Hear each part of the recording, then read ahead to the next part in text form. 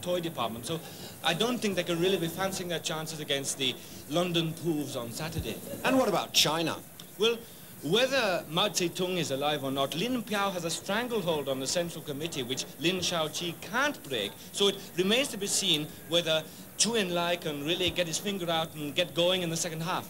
Well, thank you, Cliff. Tonight's other outstanding match was the semi-final between the Bournemouth gynecologists and the Watford Long John Silver impersonators. we bring you edited highlights of the match.